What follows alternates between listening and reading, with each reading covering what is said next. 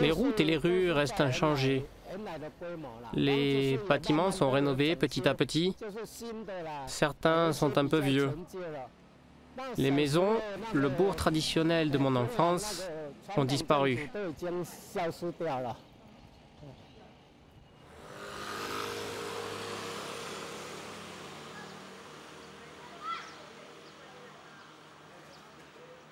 Le village de Yuemei, dans le nord de la plaine Dianan sur l'île de Taïwan, est l'agglomération des descendants des immigrés de Zhangzhou, de la province du Fujian.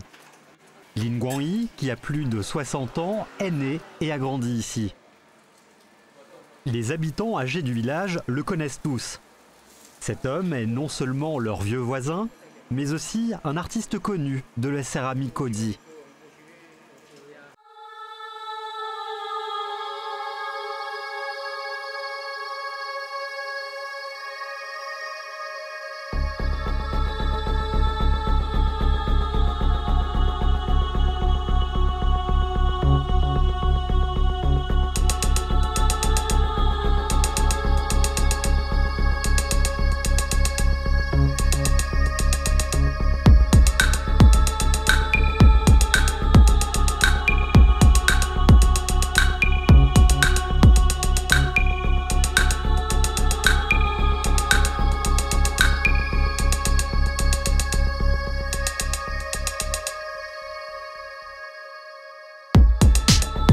Début, les habitations des immigrés étaient très humbles. Les temples étaient petits, juste un endroit à l'abri du vent et de la pluie. Quand la situation s'est stabilisée, les gens ont commencé à construire des maisons et à les décorer. On pensait aussi à construire une nouvelle maison pour les objets sacrés qu'on avait apportés ici. Coup, la rénovation des temples se poursuit encore aujourd'hui. La céramique Kozi est un ornement important de nos temples. Elle se trouve sur le toit ou sur les murs. Elle raconte beaucoup d'histoires morales. Quant à son nom, à Taïwan, on l'appelle depuis longtemps Koji Shao, Koji de Chiayi, ou céramique du roi Ye, etc. Après l'entrée de la céramique Kodi à Taïwan, pendant longtemps, peu d'artisans maîtrisaient ces techniques de production qui étaient très difficiles. Yelinje, qu'on appelle avec respect le roi Ye, a initié la céramique Kodi à Taïwan. Ainsi, elle est aussi appelée céramique du roi Ye.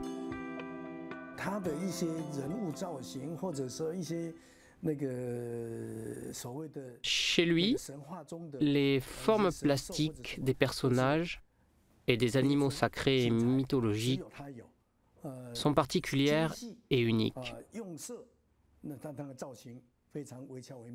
Les couleurs sont délicates, les formes sont très vivantes. La glaçure a son propre style et est appliquée avec une grande justesse.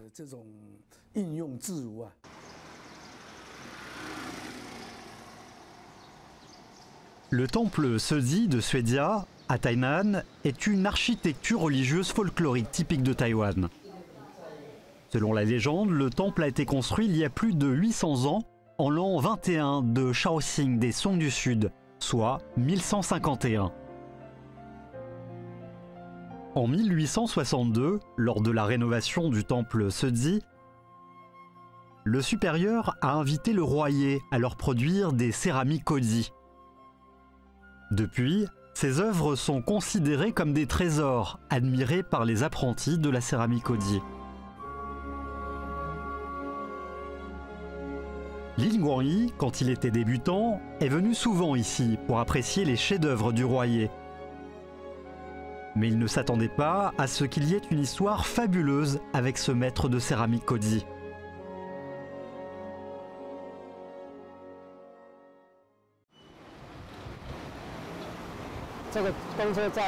Cette station de bus est toujours là. Quand j'étais petit, j'attendais ici le bus pour aller étudier à Chiayi. Je me rappelle que lorsque j'étais lycéen, le temple de notre village était en rénovation.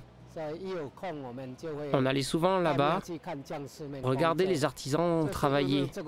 C'est à ce moment-là que j'ai commencé à m'intéresser aux constructions du temple.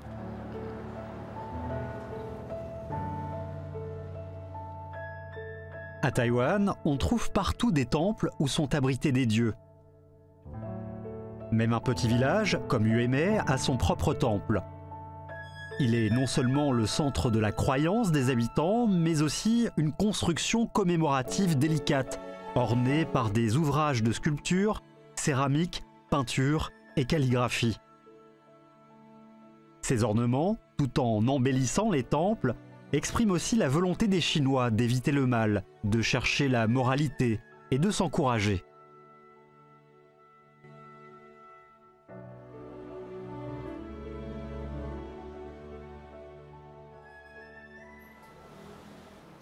C'est mon premier maître qui a fait cette colonne. Avant, on utilisait des pierres, mais celle-là est en béton. Les pièces originales de céramique Koti sur les murs ont été faites par mon maître Monsieur Lin Wanyo. Plus tard, elles ont été abîmées et c'est moi qui les ai reproduites. Par le biais de son grand-père, Lin Guangyi a trouvé Lin Wanyo, qui était en train de réparer le temple Guangtian. Il a commencé à apprendre auprès de lui l'architecture des temples, la production des statues de poterie et la sculpture. C'est le destin, quoi. En fait, les parents dans ma famille voulaient tous que leurs enfants fassent des études. Mes oncles sont aux États-Unis. À l'époque, les étudiants à l'étranger étaient rares. Je leur disais parfois que je parlais très mal anglais. Comment pouvais-je aller étudier aux États-Unis? Je me disais, bon, j'aimerais plutôt étudier ça. Je trouve ça intéressant.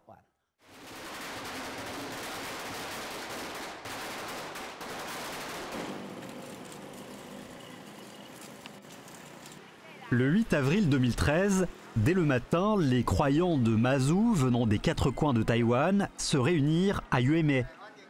Là où habite Lin Guangyi, le petit village tranquille devint vite bruyant.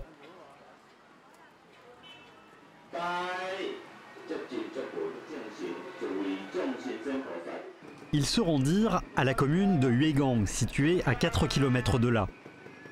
Ce soir-là, Mazou de Dadia arriva au temple Fangtian de Xingang. Parmi les croyants folkloriques de Taïwan, ceux de Mazou sont les plus nombreux. Chaque année, le 23 mars du calendrier lunaire est l'anniversaire de Mazou. Pendant cette période, les croyants organisent de grands rituels de sacrifice et de procession. Parmi eux, la grande procession de Mazou de Dadia, l'événement le plus important durant le troisième mois de l'année, est considéré comme l'un des trois plus grandes activités religieuses du monde.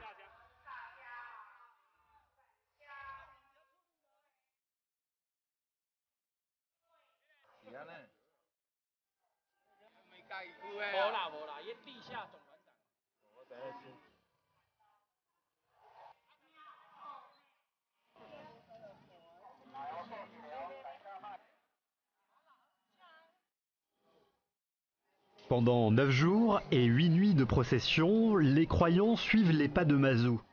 Ils vont parcourir tout le trajet à pied avec leurs bagages. Pendant le voyage, ils entrent dans tous les temples, rendent hommage à tous les lieux, prient Mazou de leur accorder le bonheur et la sécurité.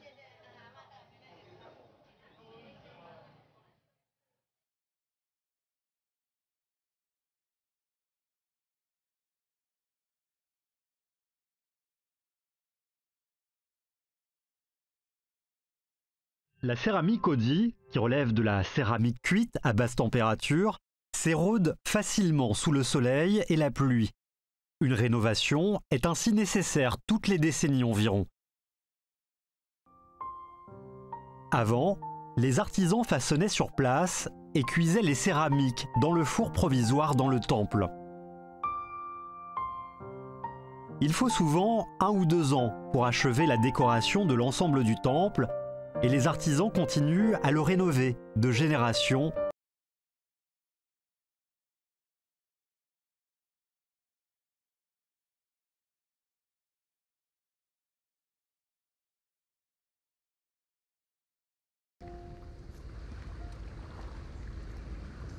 Pour Lin Guangyi, sa rencontre avec la céramique Odi n'est pas un hasard. Xiayi, son pays natal, est le lieu d'origine de la céramique Odi. La plupart des artistes ont fait leurs études ici. Pour cette raison, la ville est considérée comme le pays natal de la céramique Kodzi.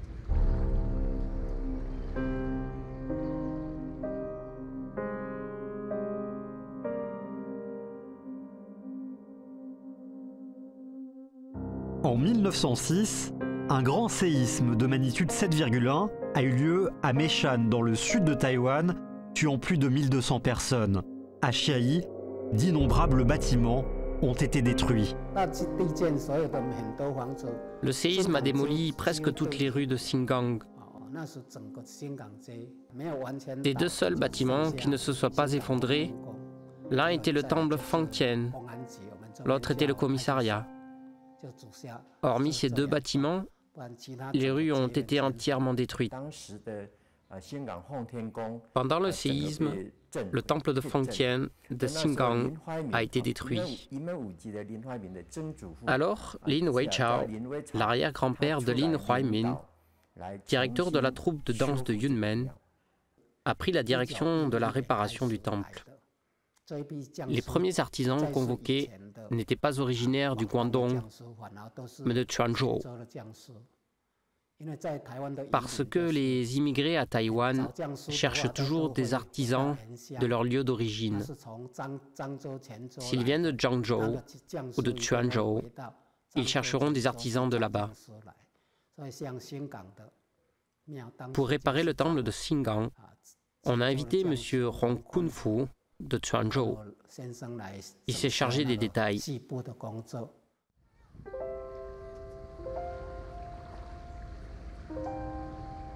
Il y a plus de 100 ans, Hong Kung Fu, originaire de Quanzhou dans la province du Fujian, s'est installé à Chiayi. Il a recruté beaucoup d'élèves. Les techniques délicates de la céramique Ozi se sont ainsi répandues à Taïwan. Lin Guangyi est déjà un élève de la quatrième génération.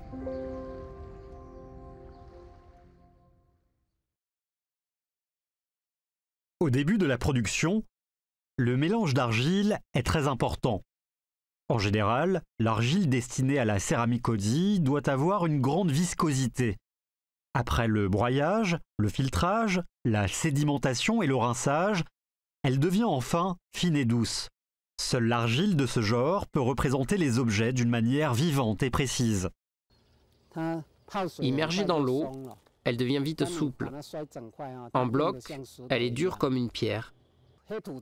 L'argile noire, c'est comme ça. Et puis, c'est l'argile noire originelle de Taïwan.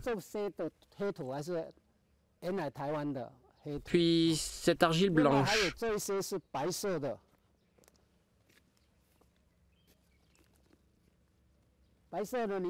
C'est l'argile de porcelaine de Jinmen.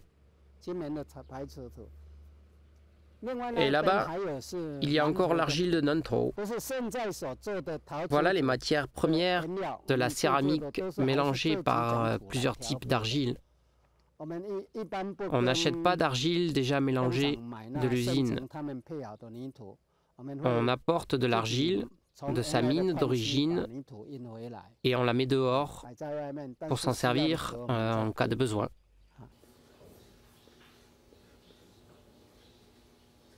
L'argile ayant été préparée, l'étape suivante est d'esquisser le motif.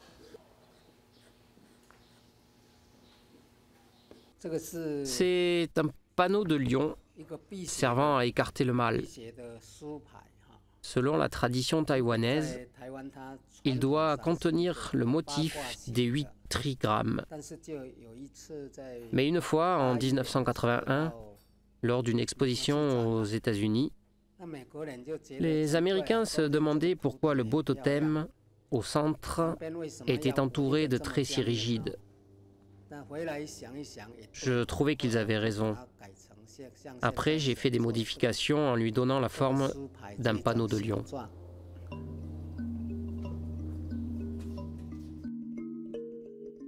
Comme les temples assument les fonctions morales, le thème de la céramicodie se base souvent sur des contes et légendes folkloriques, ayant comme personnages Guanyin, les huit immortels et les étoiles de bonheur, de richesse et de longévité, et comme animaux propices, le dragon vert, le lion et la licorne.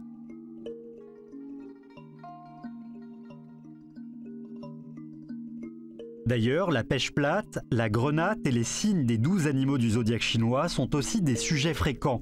Les artisans doivent tenir compte non seulement de la forme plastique de chaque ouvrage, mais aussi de leur disposition globale dans l'ensemble du temple.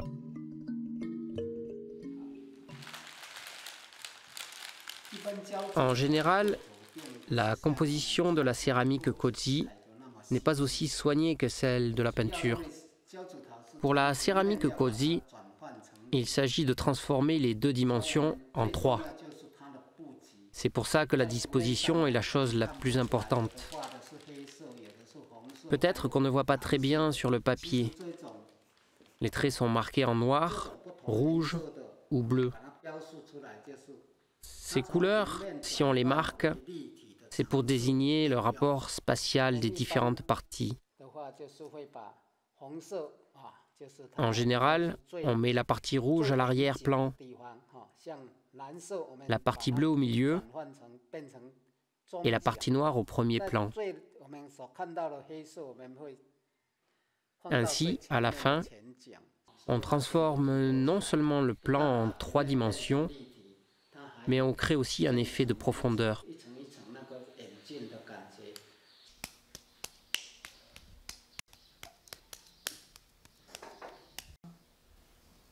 Tout est prêt.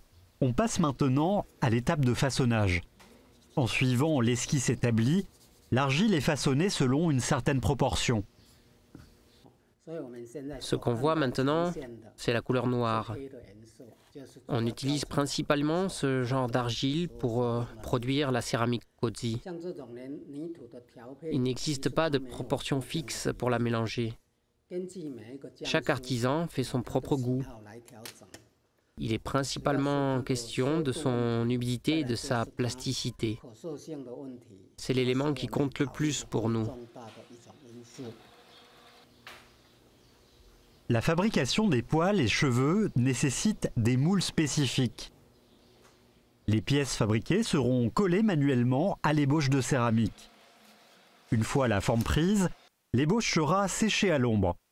La durée du séchage dépend du volume de l'ouvrage et varie d'une à trois semaines. Puis, l'ouvrage devra être cuit à une température de 1170 degrés pendant environ 16 heures.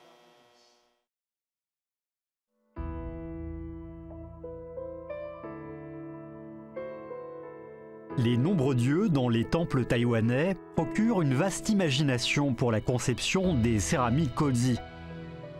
Chaque artisan comprend et représente les dieux à sa manière. Pour s'inspirer de la culture traditionnelle, Lin Guangyi profite des week-ends pour chercher dans les temples les ouvrages laissés par les vieux artisans. Qu'il s'agisse des ouvrages de céramique Kozi, de la sculpture ou de la calligraphie, il les prend tous en photo pour les apprécier.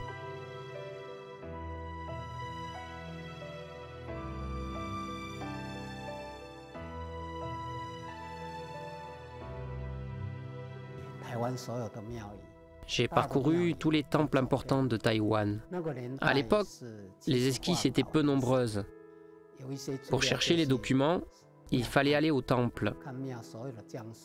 En effet, à Taïwan, les temples sont comme de petits musées où on peut trouver des formes artistiques variées.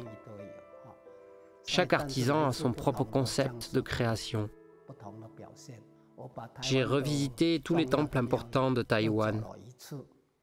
J'ai voulu trouver la couleur exacte que je recherchais. Au bout d'un tour, je l'ai trouvé dans le temple Zhenan, qu'on appelle temple confucianiste. Le gardien du temple est un ami. Une fois, lors d'une conversation, je lui ai dit, Monsieur, les reliefs du tigre et du dragon dans le temple, le mur de céramique Koji, leur couleur de glaçure, tout est vraiment très beau. Quel maître de Tangshan a fait tout ça Il m'a dit, ça n'a pas été fait par un maître de Tangshan, mais par M. Lin Tianmu, le pâtissier au marché de l'Est. Je lui ai répondu, vraiment? Et il m'a dit, mais oui, je suis gardien de ce temple depuis ma jeunesse. Comment pourrais-je ne pas le savoir?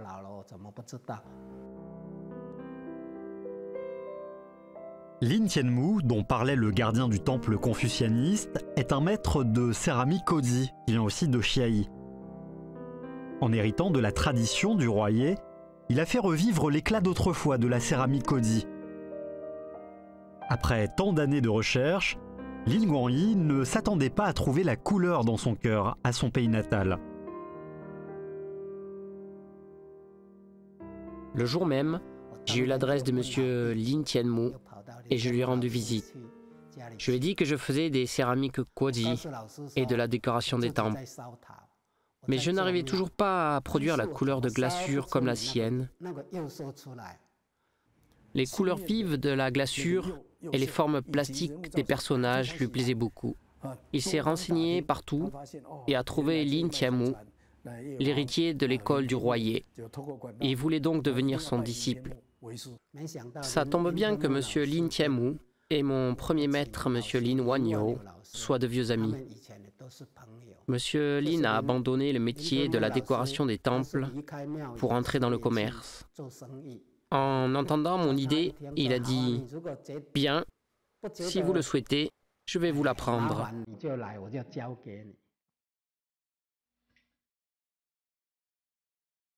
L'émaillage, facile à première vue, est en fait une étape essentielle dans la production de la céramique. La glaçure de la céramique est composée par le métal et le minerai naturel. Elle a neuf couleurs fondamentales. Mais les artisans expérimentés peuvent créer dix tons variés. Les producteurs mélangent les couleurs différentes selon leur propre goût pour obtenir un effet brillant et élégant.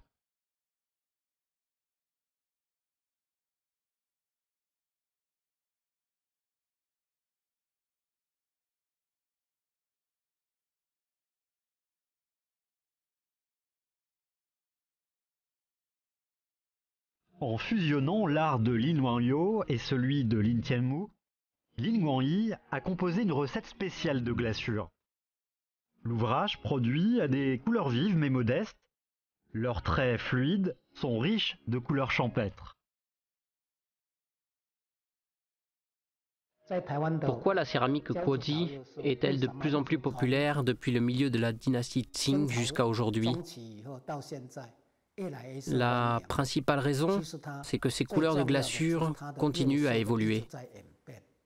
Quand on produit la glaçure, notre maître lance une base solide à partir de laquelle on fait des améliorations.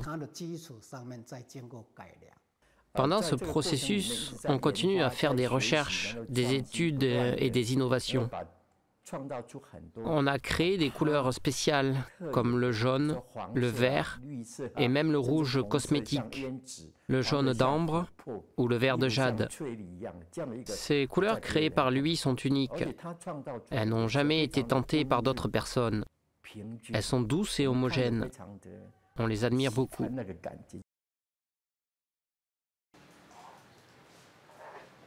Pendant l'hiver 80, un cambriolage qui eut lieu au temple Sezi à Suezia de Tainan choqua toute la société taïwanaise. Une cinquantaine de céramiques Odi, fabriquées par le royer, furent volées. Deux ans après, on ignorait toujours où se trouvaient les céramiques volées. Compte tenu de la situation, le temple Sezi ne pouvait que les reconstituer à partir de leurs photos. Ils invitèrent le célèbre maître Lin Tianmu à en prendre la direction. Faute d'énergie, ce dernier demanda à Lin Guangyi de le remplacer. Inviter Lin Guangyi à réparer les œuvres du royer, c'est un heureux hasard de l'histoire. Parce que ce sont les disciples qui réparaient les œuvres du maître. J'étais très heureux à ce moment-là. Avant, j'étais fasciné par les œuvres du royer dans les temples. À l'époque, l'éclairage là-bas n'était pas aussi bon qu'aujourd'hui. Parfois, ce n'était pas facile de les observer clairement. Avoir la chance de les réparer, c'est le destin. Il a vu les œuvres authentiques du royer. Bien sûr, il faut chercher la ressemblance spirituelle. Il faut trouver leur esprit à travers leur forme. Un accord secret a ainsi été établi et il a trouvé le lien entre son art et celui du royer.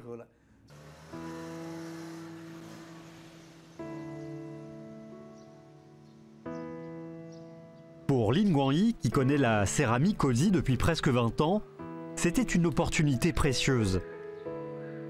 Pendant la réparation, il pouvait observer de près les chefs-d'œuvre du maître et connaître les détails de production. En accord avec le temple Sezi, Lin Guangyi a prolongé les délais de réparation de 6 mois à 1 an. Chaque jour, il faisait l'aller-retour entre le temple et son studio afin de mieux reconstituer les œuvres originales du royer. Cette expérience précieuse a permis à Lin Guangyi de perfectionner sa technique de production.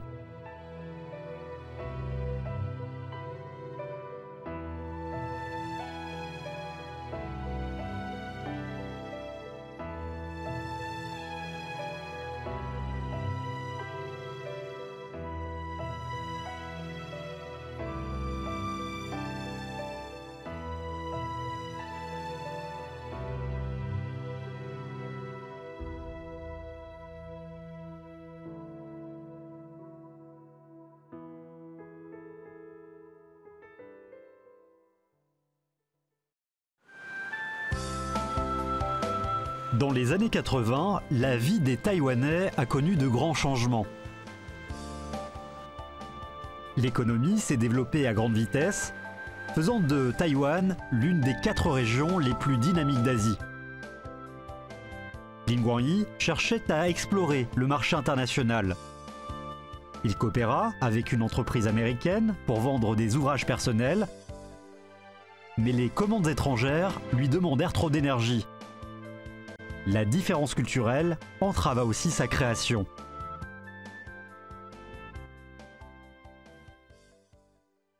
Je pensais à beaucoup de sujets, mais je ne pouvais jamais les réaliser. Ils aimaient Saint-Empereur Guan. Ils trouvaient que sa forme plastique avait du style. Mais lorsqu'il commandait, il me demandait de changer son visage rouge par un visage blanc. Ça me faisait rire. La forme qu'il voulait était comme un étranger. Mais c'est Seigneur Guan, non Comment peut-il avoir un visage blanc mais il disait, on ne connaît pas l'histoire de la Chine. Seigneur Guan ou d'autres, on s'en fiche. On ne connaît aucun d'entre eux. Elle est là la différence culturelle.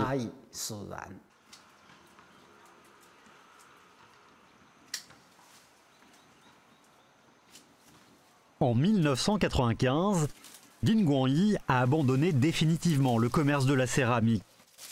Il a transformé la maison familiale en studio et se consacre dans la production, la recherche et l'amélioration de la céramique cosy. La dernière étape de production consiste à cuire l'ébauche émaillée à haute température pendant 24 heures. Puis, après un à deux jours de refroidissement, l'ouvrage sera enfin achevé.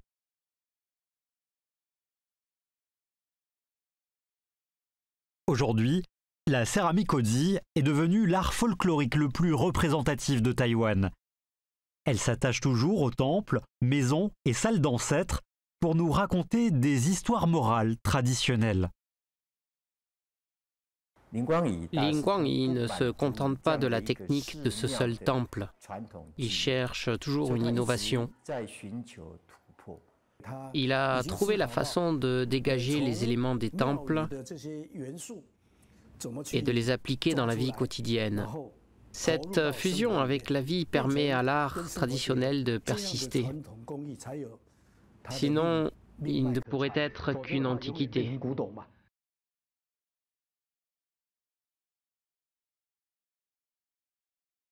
En augmentant la température de cuisson, Lin Guangyi a réussi à transformer la céramique Odi, vulnérable, en produit demi-céramique, plus facile à conserver.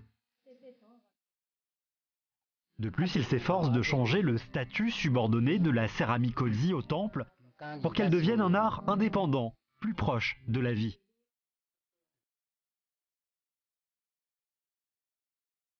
Aujourd'hui, à Taïwan, la céramique se trouve dans toutes les boutiques d'objets d'art. Le jeune homme, ordinaire d'autrefois, est devenu un maître célèbre. La tradition et la modernité, la mythologie et le réel construisent ensemble le royaume de céramique Kodi de Lin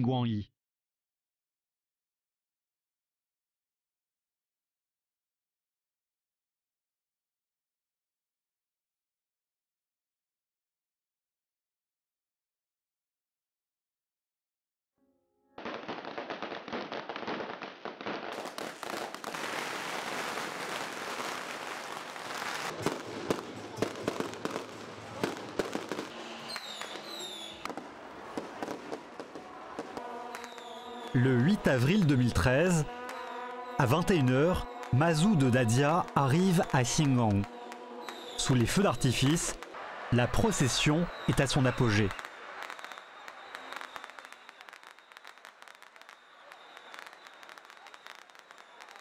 Avant, Lin Guangyi et sa famille participaient aussi à la fête. Mais maintenant, il préfère rester à la maison et se plonger dans l'art de la céramique. Avec la même piété des croyants pour Mazou, Lin Guangyi espère avoir un dialogue spirituel avec ses ancêtres à travers l'argile et la glaçure.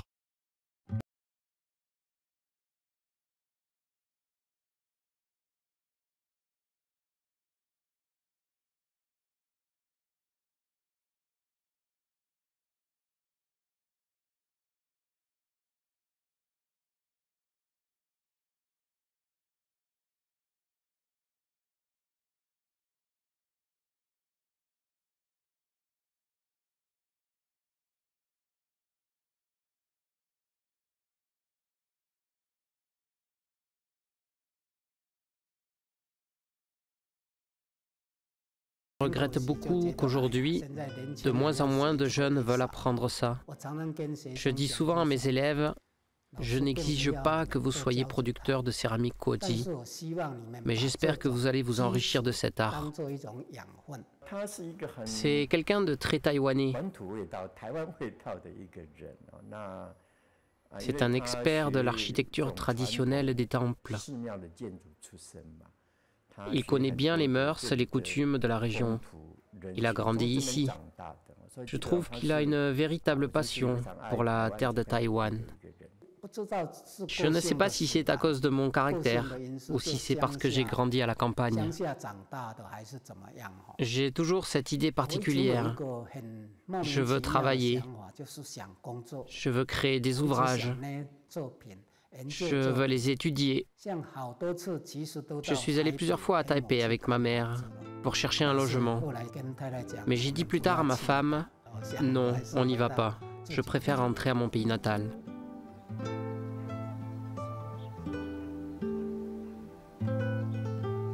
Depuis sa naissance en 1951, Lin Guangyi et sa famille vivent dans ce petit village au bord de la mer depuis plus de 60 ans.